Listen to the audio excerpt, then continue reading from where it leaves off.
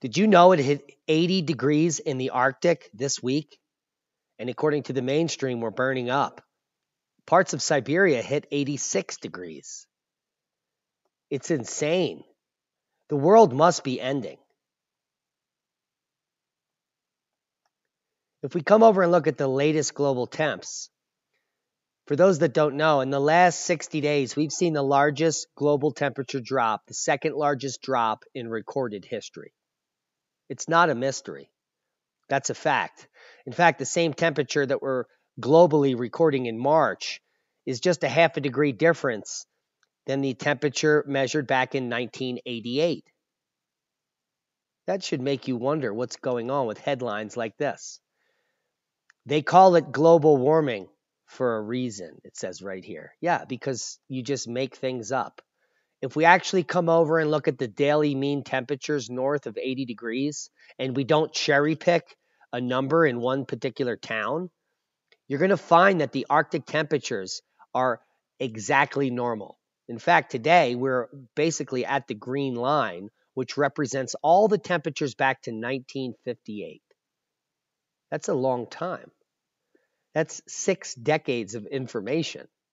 And we're at the same temperature as it was on average back in 1958. Does that mean that global warming for a reason exists? No. It means that the media portrays any warm spike and cherry picks that data to scare you into compliance. The temperature re- recorded in March 2020 for the global average is the same as it was in 2009, is four tenths of a degree cooler than it was back in 1998, and just a half a degree warmer than it was back in 1988. Because you can see here, climate is, is not a linear trend upward or downward. It is a nested hierarchy of cycles that go up and down. The low in 2011 was similar to the high in 1979. And the low here in 1989 was similar to the low in 2008. Natural climate variability, which is clearly shown here on this graph. The chartreuse or green line represents the last six decades, which has gone through a global warming phase and a global cooling phase and another global warming phase of hysteria. And you can clearly see here that we are absolutely average in the Arctic. Not only that, the total snow mass for the northern hemisphere, excluding the mountains, is at epic record levels, well above the 30 year moving average. Well above. Someone is not giving you the facts, and that's the mainstream media. The facts are that for the last four years, Arctic sea ice extent has been growing and has now reached a position similar to it was back in the mid 90s.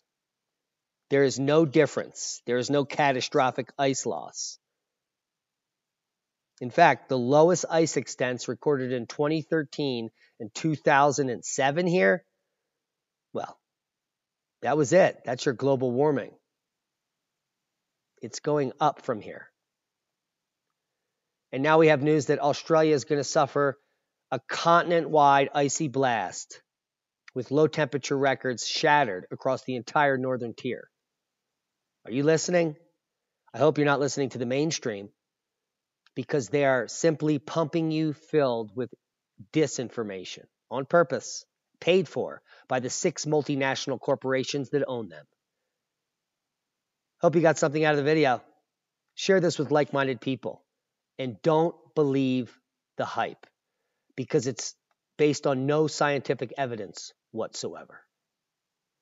And that, well, that's a boom. Be safe. We love you. Share this with like minded people.